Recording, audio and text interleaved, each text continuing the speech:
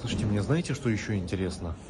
Здесь в этой стоматологии столько пенсионеров, хотя она является частной стоматологией, лучшей в Шандон провинции и очень-очень дорогой.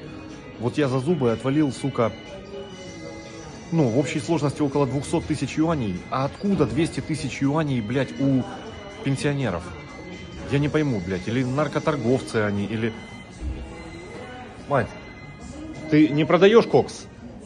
Я просто спрошу, ну мало ли, блядь.